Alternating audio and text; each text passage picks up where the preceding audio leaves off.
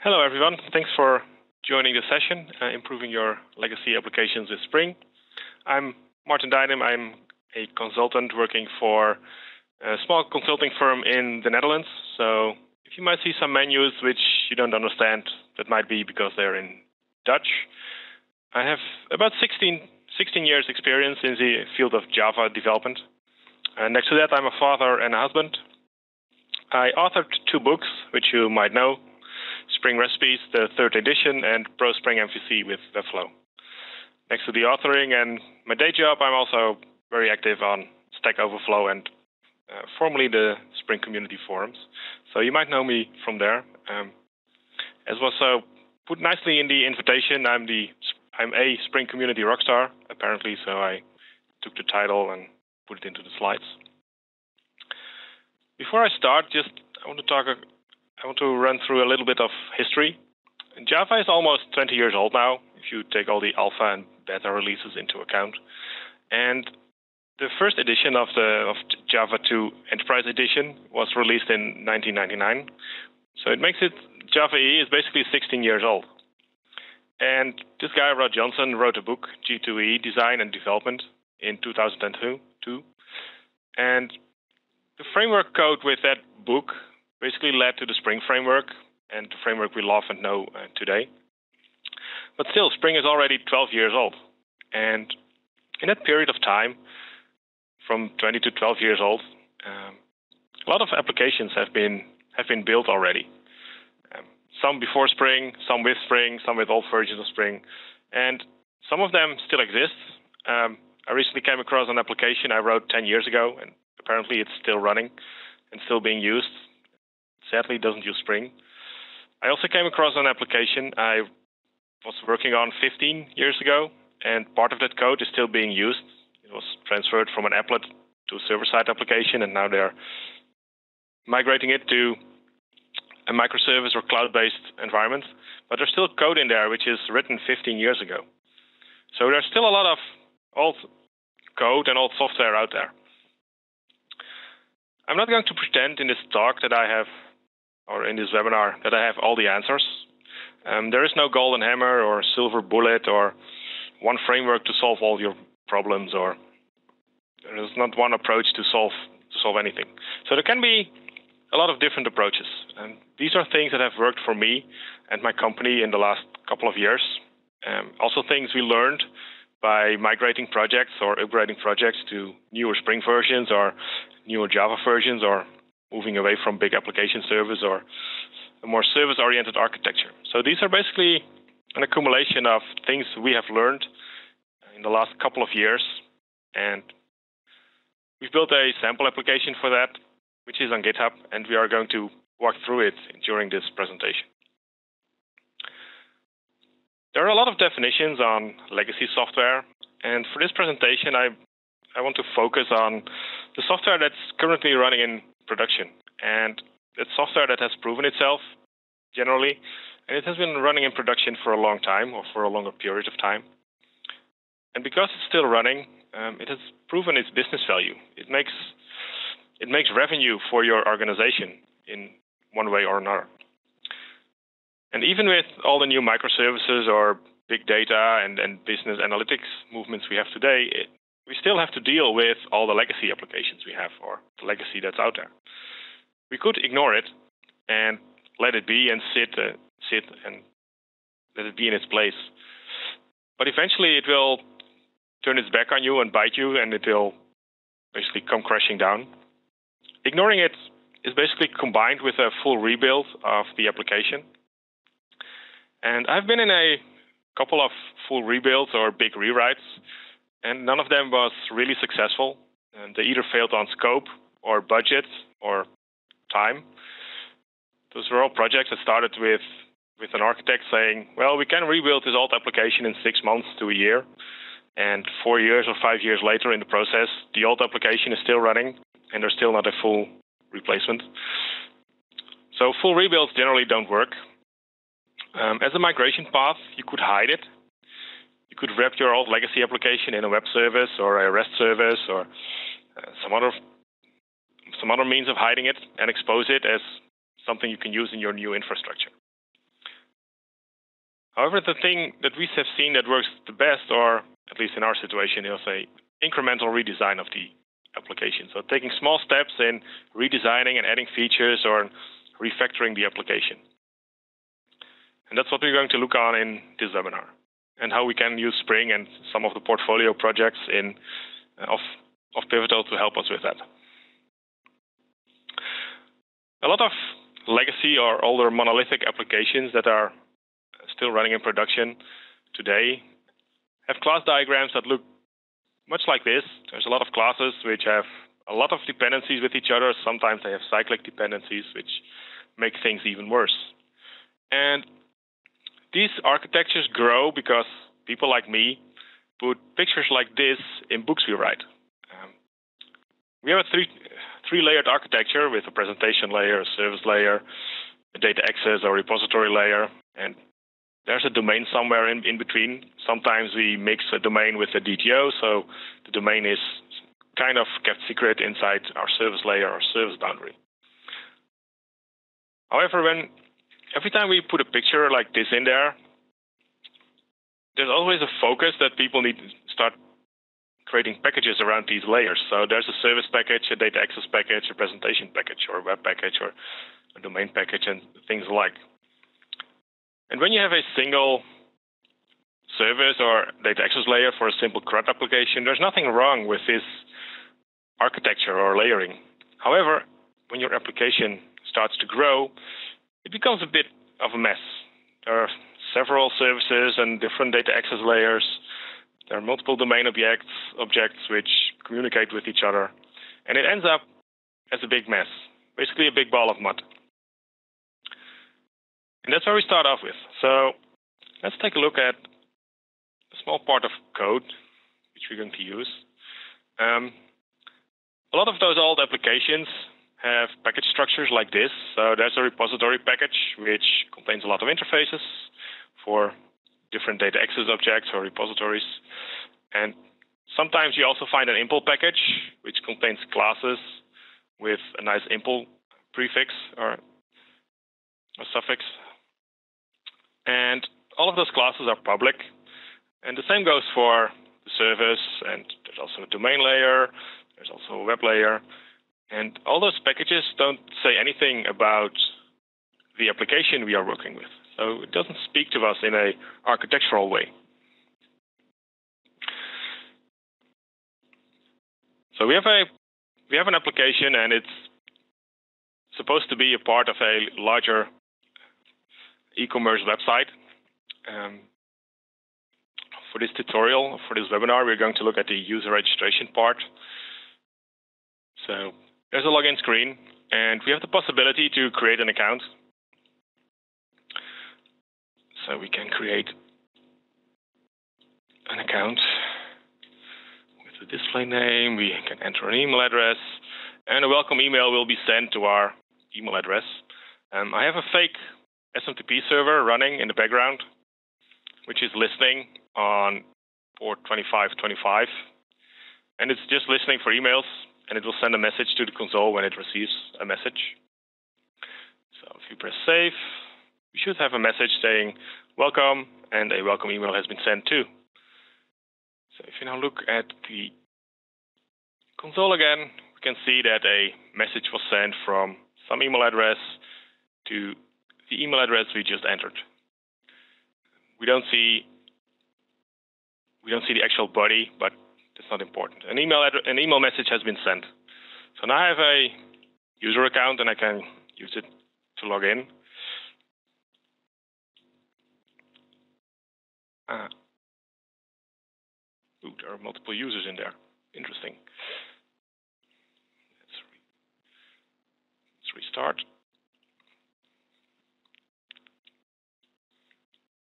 That shouldn't happen.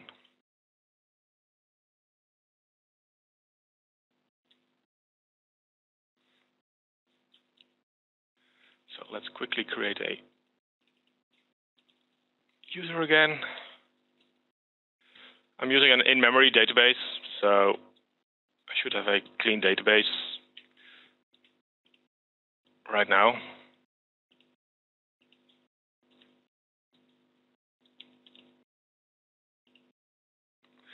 And after login, we see a account information page which shows me my username, the name I entered, and my email address. Course, in the real website, we would have the opportunity to change the password or change my email address, etc. Uh, see the orders I, the purchases I did, the status of my of the orders if they are sent or or not. But for now, this will do. If we take a look at the, there's a single service, It's the user service implementation, and there's a save method for saving a user.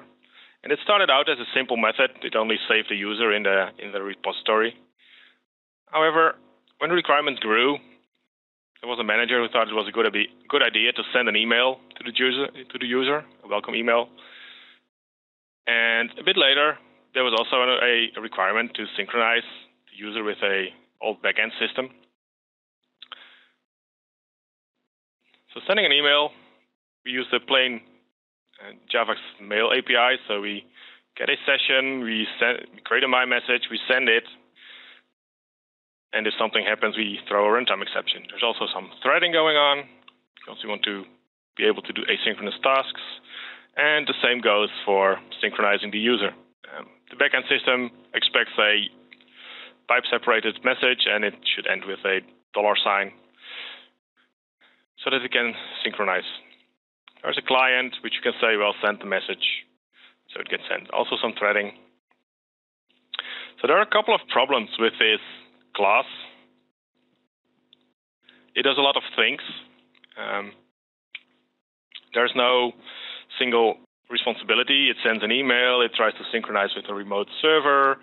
Um, so there are a lot of things going on in a single server. So what can we do to improve our big, large, monolithic application? Well, the first thought is you need to have a plan. Um, in a couple of one or two projects, we tried to redesign an application and just started redesigning and refactoring our code. And after three weeks, we still hadn't, we still didn't have a running application. So we went back to the drawing board and came up with a plan, identifying which part of the application we wanted to reuse or needed to externalize. So we could efficiently focus, we could pay attention and focus to those parts which were important to us. So we need, you need to have a plan before you start to refactor. And what we want to uh, from our monolithic uh, application is we want to have a structured monolithic application. And Simon Brown said, and there's also a nice uh, blog entry from Simon Brown on this subject. He says, if you can build a structured monolith, what makes you think microservices are the answer? And everyone wants to do microservices, but there are very few people, or there are who know really know very well how to write a structured monolithic application. So if you don't know how to write code, when you go, enter into the world of microservices, you get a distributed big ball of mud, basically, instead of a, a microservices architecture, which with all the benefits it should give you. So basically, what we want to do is move from from what we have on the left side, which is basically a technical packaging on based on the type of component. So we have a service and a repository, to something on the right, which speaks to us because now we know we do something with the user and with orders and payments, and we send mail, and we probably also do something with event publishing because there's an event package. So the package structure already speaks to us. And for all the external integrations to our uh, user management or user service, we have a different sub packages. So we have a web interface so that goes in the web package, and our integration with the different parts like email and remote synchronizing go into the integration package. Um, before you really start refactoring and redesigning your application, you need to know what your application does. And a lot of legacy applications don't have a automated test suite. So you should start writing integration tests or unit tests but as we have seen, the user, user service does a lot of things. So when you write a unit test, it actually is an integration test because it tests the sending of the email, it tests the synchronization of the remote system. So you basically write an integration test on the service level and not on the web level. So let's see, let's have a look on how that would look. So let's switch branches. Case. And as you can see, the user service is still the same. But we wrote a unit test or an integration test actually. And I like to use Greenmail for simulating an SMTP server. And it's a nice small utility which you can use to quickly set up a server. You could also use Apache James or any other uh, SMTP library out there to for testing. Um, when you want to test external systems like email or FTP or SFTP, you might need to find a mocking library for that to make it easier to test. So we are using the uh, Spring Convenience classes to write our test. So this is a transactional test. So after the test, everything will be rolled back. We're going to load the application context. So we're still using XML. So everything is in XML. Still a, there's even a transaction proxy factory bean because, as I said, it's it's an application. It's based on an older version of Spring, and we are migrating to to newer versions. So in older versions, we only had the transaction proxy factory bean instead of add transactional. So that's why it's here.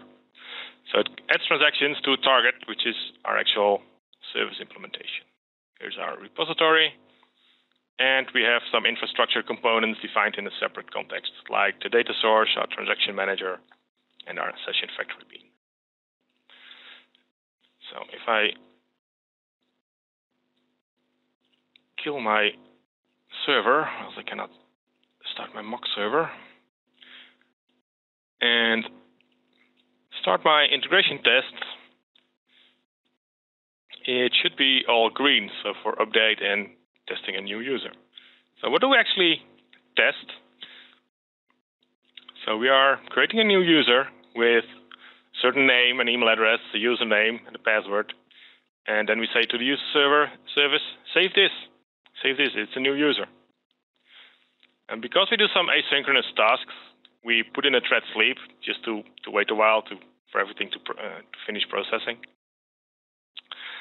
And then we expect a single row in the table um, of course, in the we could do multi, more uh, assertions here to to check if it's actually the correct name and the email address which is in the database. For however, now we just count the number of rows. We are checking if a message was sent, and if a message was sent, if the body equals what we expected it to be. And we also have a, an emulator for the remote system, in which we say, well, did we actually receive this message for uh, for the remote service? And everything apparently goes goes well. And we more or less do the same for update user. We expect no message to be sent because it only happens when a new user is being created. And we still expect an update for the emulator. We haven't changed any code. We only added a unit test or an integration test so we could verify that the system does what we expect to do. Now, when we start redesigning and refactoring our application, the tests should still run and remain green. So, although everything we do, the behavior of the application shouldn't change. It should, should still add a user to the database. It should still send an email and send out a remote synchronization message to our uh, mainframe or whatever service or application it is.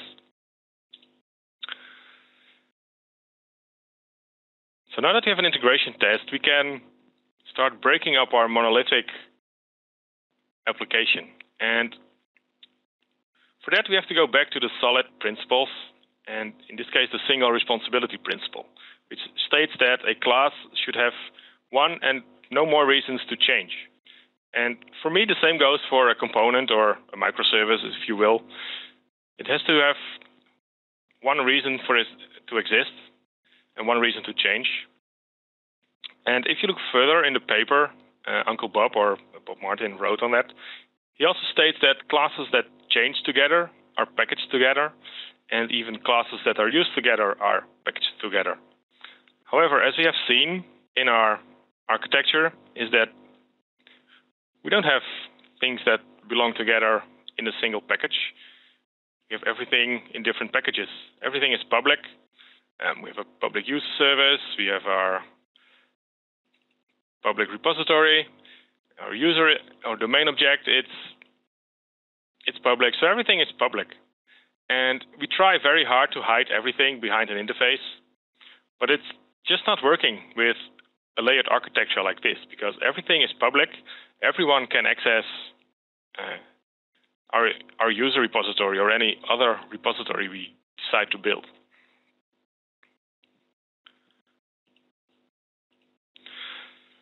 When we package things together, we can use package protected or package private classes. So we could create a public interface with a package protected implementation. And with it, we can create a public API and use the Java language to our advantage in this case. So there, we were basically hiding our internals for ev everyone else to see. There are different papers written on the subject or on, on that topic. Um, clean code or a hexagonal architecture and or a life preserver. It basically boils down to you should package things that belong together in a single package. And so and you can define a core part of your application and also an integration part of your application. And if you look at our e-commerce system, users are part of the core, just like orders, payments, our inventory. There's still that's part of the core of our application. And then there's the integration layer, which basically means the web, security, web services, or any other type of integration you can, can think of. And each time you cross a border from core to integration or from web to security, you need to think on how to bridge or how to get over that that hurdle. So you have to be careful in your packaging and think on the interfaces you expose. So let's take a look on how we could break our user service, which does a lot of things, into separate different services.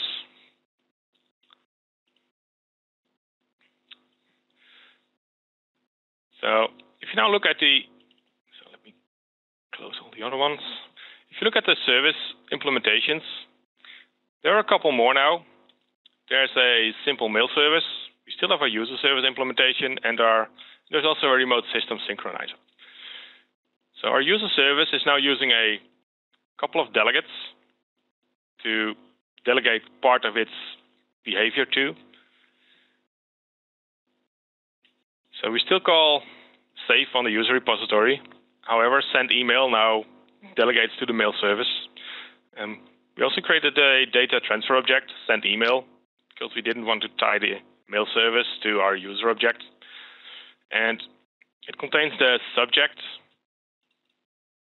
of the email we want to send, the person it needs to go to, and the actual body of the content of the message. So we construct that in the send email message and just pass it on to the mail service. And that only contains Basically, it's a copy paste action from what was in the actual send method to the service method. However, now we have different objects, smaller objects, to do the things they are good at. The same goes for the remote system synchronizer. There's a synchronize method, which just contains the method, the content of the method, which was earlier in the user service input. We still have our user service integration test, which still does the same. We haven't changed it. We're still loading our application context, which contains some additional beans, the configuration of our mail service, our remote system synchronizer, and we are now handing them to the user service import through its constructor. Hence, we are using constructor arguments. I like to use constructor arguments for uh, required properties. Uh, also, with when using auto wiring, I like to put add auto wired on a constructor instead of a field or, or a setter, especially for required dependencies. So if you now run our test case again, if we have done well, it should still be green because it still sends an email and it still calls the synchronizer. And it now does so with some delegation going on. However, we still have the same package structure we had before. We still have the services. We have the service import with simple mail service, etc. So the next step is to move it to different packages so that we have single focused packages which do a single thing. So we now have our mail service here, which has a public interface with single method send email. Our send email DTO is still public because that's part of our public API. However, the actual implementation is now package private. So we cannot access it from outside of the package. We only have access to the interface. And as we want to program to interfaces, that's actually fine. So if you now take a look at the user package, it now contains our user domain object, which is again still public. It contains our repository and our service because those things are used together and they belong together. And the repository, our interface, as well as the implementation are now package private. So the only way to work with a user or a user object, object is through the user service implementation, which is also package private because the interface is public. So we still expose our public API, namely the user service and our uh, user objects, but everything else is package protected, package private. Our configuration. So if you now look at take a look at the integration tests, the only change to our configuration is the package. So this was before it was in legacy service.impl. Now it's in legacy.mail. Um, Spring uses uses reflection to create instances of services or or beans. Or, so it really doesn't matter if it's private or package private or protected. It, it just uses reflection to invoke the constructor. So we can still create a create an instance of our mail service. Construction of our user service hasn't didn't change. Again, also only the imports of our mail service and remote system synchronizer has changed. And there are a little less imports because there's no more user repository, etc. And again, if we run our unit test, which didn't change a bit, it should still work. However, we now have a cleanly structured application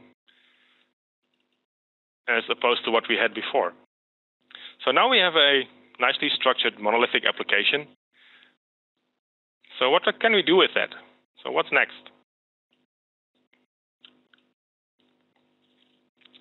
So we can start using events to even further decouple our different services because our user service is now still knowing that there's an email being sent and a synchronization with a remote service going on. And for this, we can use the Spring application uh, event or application event publisher. So there's built-in support for, in Spring for publishing events to anyone who wants to know. So let's take a small look.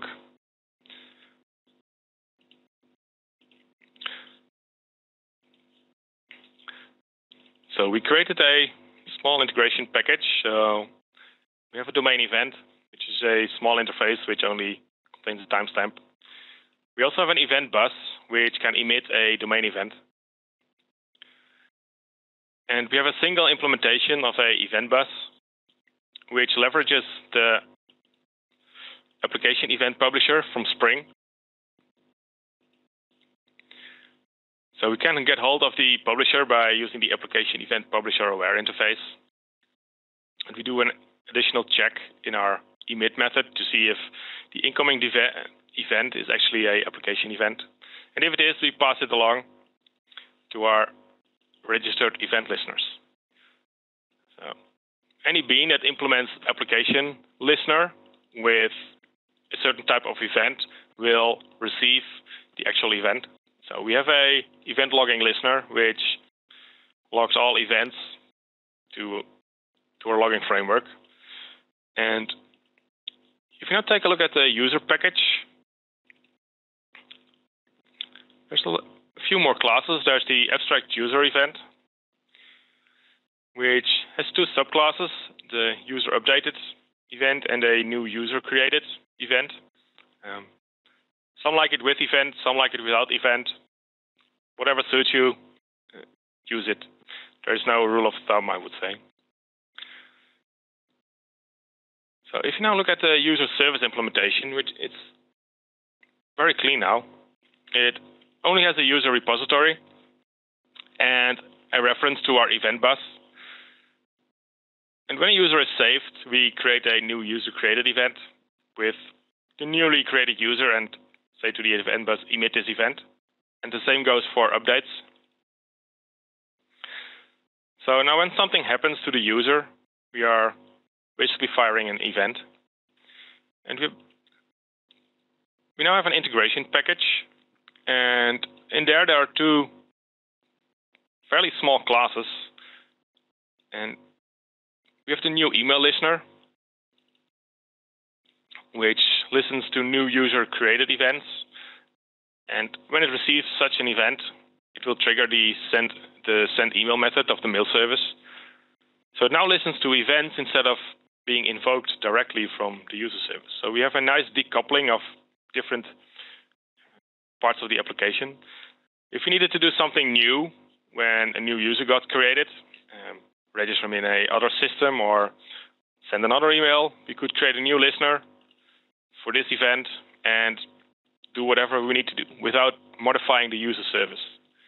So we can now add behavior or change behavior without even having to modify our user service. And the same we have done for our remote system synchronizer, which takes the abstract user event, gets the user from the event in this, in this method, and composes the message and sends it to the client. So as I was saying, I prefer constructor injection even when using annotations. So I have add autowired on the constructor. So we get a client injected as soon as the constructor is called. And now we have a small event-driven application, which still shouldn't change the behavior of our application. It should still send an email message, uh, synchronize the remote system, but it's now event driven. So we have now very loose coupling between our different components and different parts of the application.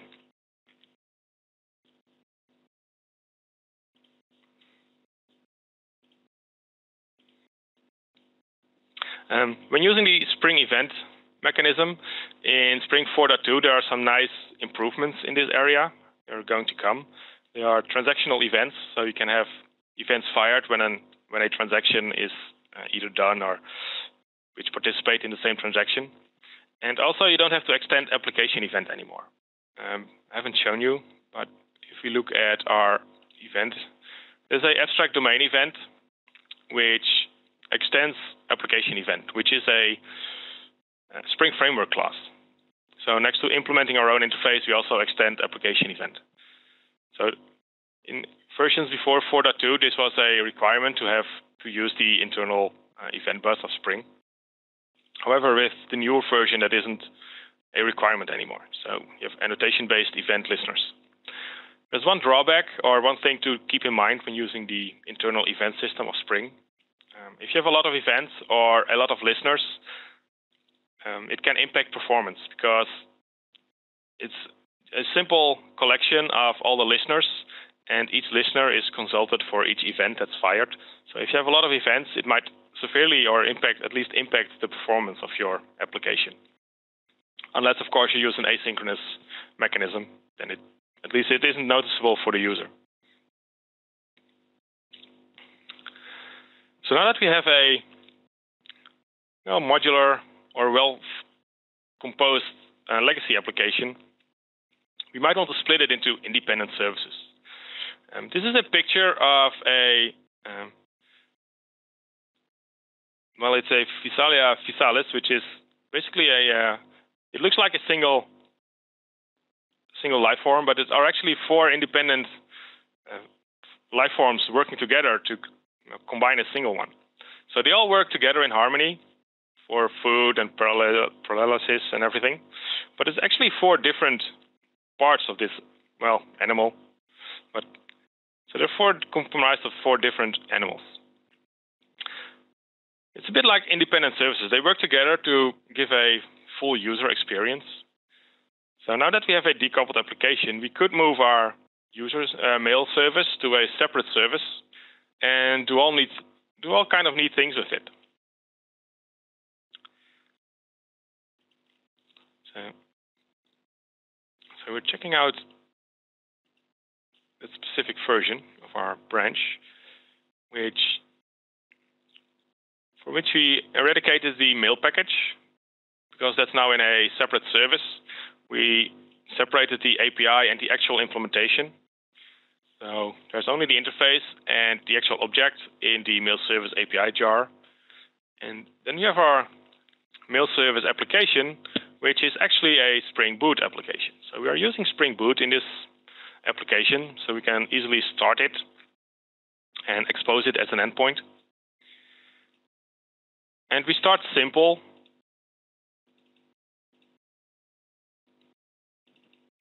So this is our application class. And what it does, it just starts an application. It's a Spring Boot application, so we have component scanning enabled by default from this, starting with the NL Conspect legacy mail package and everything underneath it. So we don't need this. So let me comment it out. And for starters, we're going to use uh, Spring Remoting. So we're going to use the HTTP invoker to export our mail service to a HTTP endpoint. So we say we want to expose the mail service uh, with this interface and actually this service, and we want to expose it at slash mail service. By default, there's a bean name URL handler mapping, which uses the URL to look up a specific bean in the application context. We still use some asynchronous stuff, but now we use the thread pool task executor. And instead of the threading, which we had initially in the mail service, we now use at async. So no more threading inside this method. So we cleaned it up nicely, put at async in there, and it still gets a Java mail sender. So you might wonder where is this Java mail sender configured? Well, that's a nice thing of Spring Boot. It gives you a lot of things configured by default. So just adding these two properties will, or at least one of those, will get you a Java mail sender by default with these properties set. Um, we're going to run it on port 8090, 8090, and context path will be slash mail. And later on, we're going to use JMS, so that's already in there. So we can now start our main application.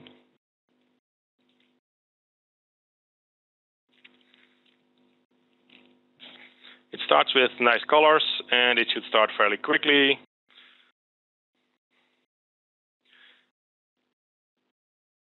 Hitting dispatcher servlet, it will start up. And we should now be able to access our mail service. So now let's reconfigure our legacy application, the configuration of it, and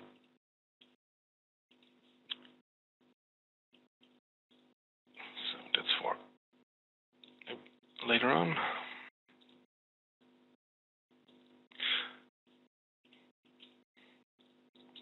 It's something we go to use later on.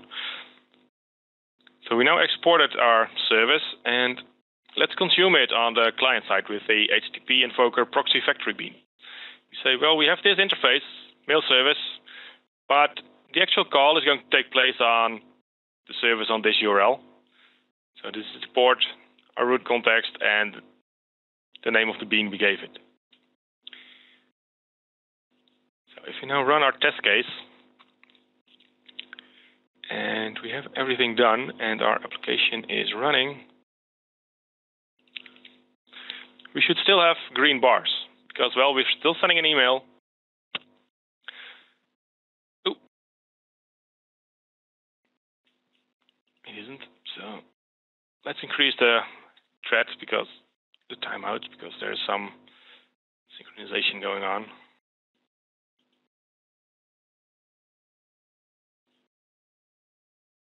Let's restart.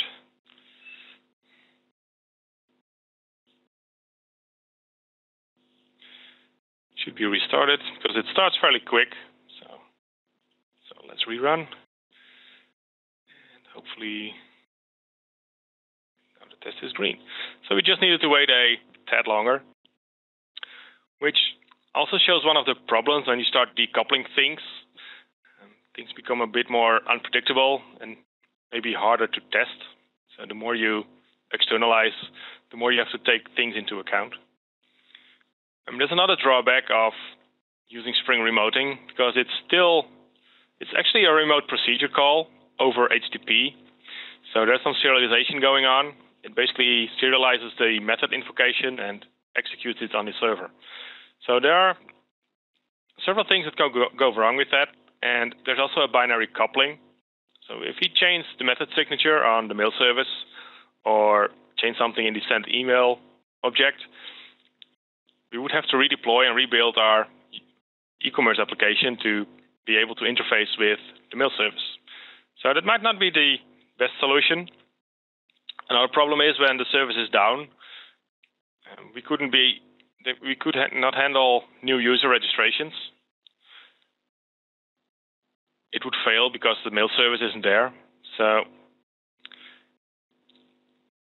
we might want to add a Java messaging into the mix so we can have so we can put messages on a queue. And for this, we're going to use Spring integration. We're going to create a gateway, and we basically say, well, create a proxy, create a wrapper for the mail service interface again, just like we did with the HTTP invoker. So we still, for our application, it still looks like we are talking to a mail service, but every method call, all the the object, which is part of the method call, so in this case the send email object, is going to be put on a queue, send mail queue, and which is an outbound channel. Sorry, this is the channel, and this is the actual queue name. So let's send mail. Let's do a little renaming there. So we have a send mail channel. We're going to put the method uh, method argument onto this channel, and the channel is basically going to relay it to this uh, queue using a connection factory, which is here. I already have ActiveMQ running in the background, so we can I can connect to it like this.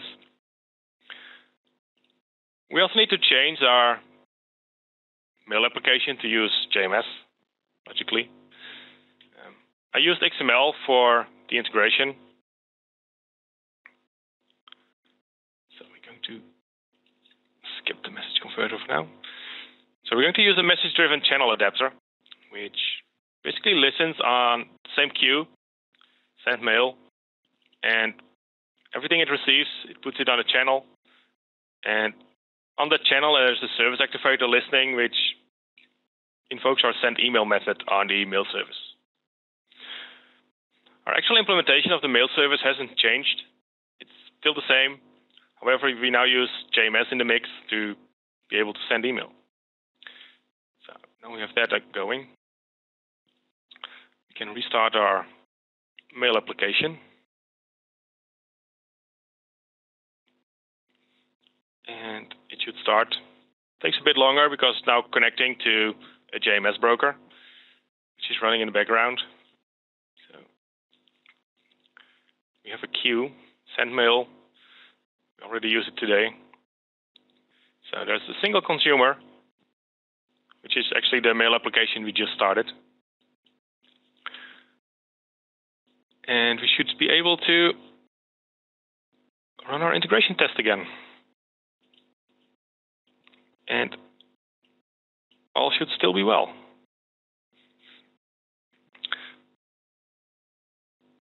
And the counter was 6, and it should now be seven. And Enter still be a sending email. So we still receive an email, but we are now even decoupled, decoupled with events and even a Java messaging system. The added advantage is if our mail service is down, we can still send messages and the emails will be sent later. So it might take a while, but they will be sent. However, we still have the issue of binary coupling. Um, we still use the send email object in a uh, JMS object message to go to the other side of our mail service. So we still need we still use Java serialization, which might not be the best of ideas to use. So you might want to marshal or unmarshal to XML or JSON. And it's pretty easy to do with Spring integration. You configure a marshalling message converter and give it a Spring uh, Spring OXM marshaller. Um, we're going to use Xstream, which doesn't require a schema or anything. You just say, I want to marshal these objects. So we're going to add a message converter to our message-driven channel adapter and restart our application. And we're going to do the same on the client side. So let's comment that out. We have our message converter.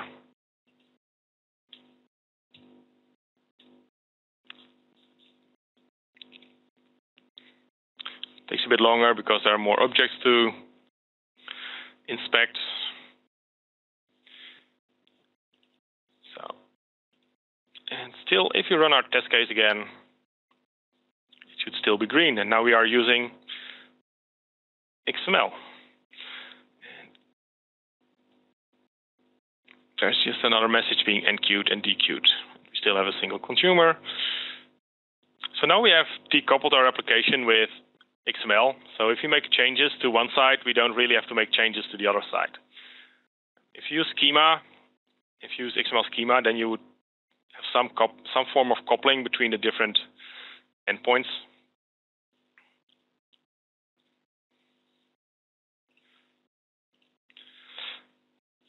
So independent services, you can create those with Spring Remoting, and there are different implementations. You can, we I use HTTP Invoker because it's very firewall friendly because well, it uses HTTP. When using Burlap or RMI, sometimes it's a bit problematic with firewalls because it's a different protocol. You could also use AMQP. So your method invocation would be an AMQP message. But as I mentioned, it's still a remote procedure call. So it's still Java to Java. It still requires your Java code to be on both the client and the, and the server. We also looked at Spring integration with JMS, um, with uh, with objects. So sending the send email message just as an object, we used XML marshalling. Um, instead of JMS, we could have also used AMQP, which would marshal to JSON and unmarshal to JSON. There's still a there are different versions. You could also export it to a file system and on the other side read it once in a while on all the files. So there are different roads or different ways you can solve the problem with Spring integration. We also use Spring Boot for a for our mail service application. So it's uh, so that we can run it as a self-sufficient service and um, don't actually need big war. So we now have two single separate deployable applications. So what are the lessons learned in all those years and with all those, um, with all, well, all a couple of big rewrites I was in which failed. Um, I'll start off with a plan, or at least have something of a plan. It doesn't have to be much, but you have to have a, some guidelines, and you have to prioritize your all the things you have, what you want to do, which parts of the application you need to externalize. So you want to have, for instance, a dedicated mail service or remote synchronizing, or you want to split up your orders and payment processing. So prioritize all the things you want to redesign and refactor in your application. Use automated integration tests and unit tests to be sure that everything you do doesn't break the application a, from, from a functional point of view. So that your application keeps behaving as it, as it did before with all the refactorings and redesign you did. And take small steps. Um, as I mentioned, once we we started redesigning without a plan and taking big steps, started at different chunks of the application, and we were building three four weeks and still we didn't have anything running. So take small steps.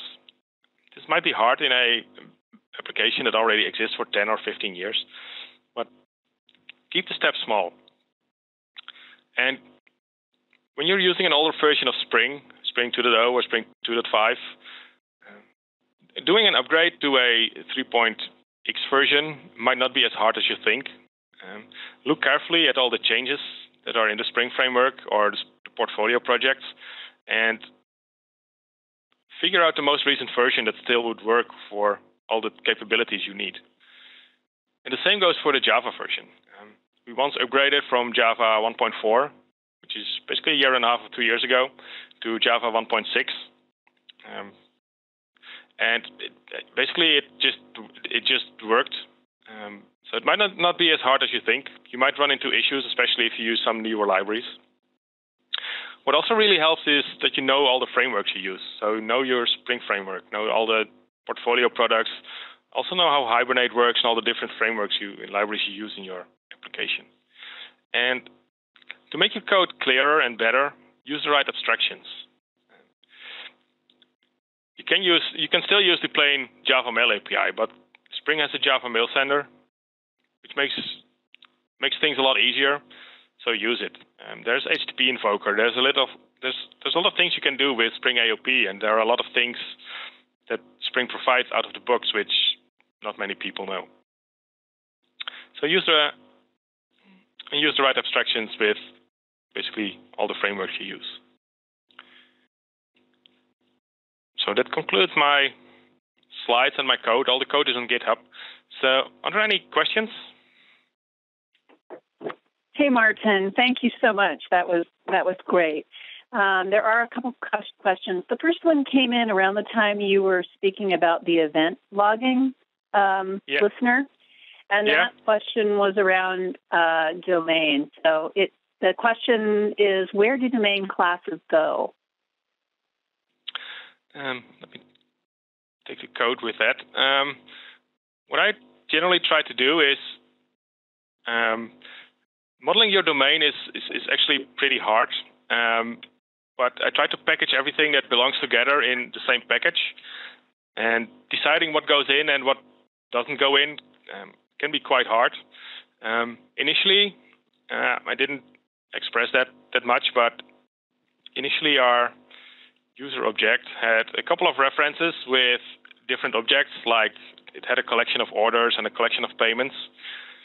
And what I see in a lot of um, applications is that every relation that's between domain objects is a bidirectional relation. So look closely at your relationships so you can have cleanly modeled components which are really focused on a single task. So that really helps. So I, I generally put uh, the user and the user service and everything in a single package. At least I, in, in this example, because those things really belong together. And if you're doing something with orders and you want to have the, the orders of a specific user, you can quite easily query for that. So you also have to take a look at all the relationships in your in your domain model to make it easier to break your monolithic application. Would that answer the question? Yes, thank on? you. Another question is I heard Event Bus has performance issues. How about Spring JMS? Um, well, everything, if you configure things wrong, can have performance issues. Um, I once had a discussion with someone who said uh, Spring JMS and Spring integration was slow. Um, and when I wrote a test case, which basically did the same thing and, and that he was doing with, with his own plain test without Spring JMS. It just it was a couple of microseconds or nanoseconds, which was the difference because there was an extra layer of abstraction because well, the use of the Spring JMS template and the Spring integration stuff later on. Um, so that's why I said know your frameworks and know um, how to configure stuff. So I haven't, if configured correctly, I haven't noticed any performance issues with uh, Spring JMS stuff. Okay, great. Uh, another question is any suggestions or common issues when migrating from Spring 2 style form controllers to Spring 4 annotation driven controllers? Yeah, that can be a that can be a painful task. Um, I haven't shown it, and it's still these are still um, oh, sorry um, simple form controllers. Um, we are on Spring 3.0, 3 3.2 for this because they're still simple form controllers. Um, again, take small steps. Um, what, what, we did in a in a uh, in another application is first move to a well-defined or, or, more or less structured model uh, model in your application, and then refactor those parts of the application you already externalized, so you can focus on a small part of your application. Um, so it's it's again about keeping focus, but it, it can be uh, hard to mimic some of the parts which were in simple form controller. On the other hand, all the annotation-based uh, add controller and request mapping uh, is so much more powerful than what was with the simple form controller. So yeah, just yeah, basically take small steps. Don't take giant leaps. So start with the Spring version which supports both and migrate part of your controllers. That would be the advice I I would give. All right. Any other questions? please feel free to to uh, post those in the Q and A um, widget there. In the meantime, just to let you know, we will be posting the recordings to spring.io slash video and spring.io slash blog within the next two weeks, and it's generally sooner than that. Uh, we do recommend that you subscribe to spring.io video or the Atom feed uh, on the blog to receive immediate notifications of the of the new postings. Also, coming up at the end of May and early June, we have a couple of webinars, which I'll be posting in the window here in the chat window. Uh, May 28th is Debug and Maintain Your Spring Boot app, and June 9th is a comprehensive Spring Showcase personal cloud storage applications. So, um, definitely check those out. We'd love to have you join us for those webinars as well. Any other questions before we close for today?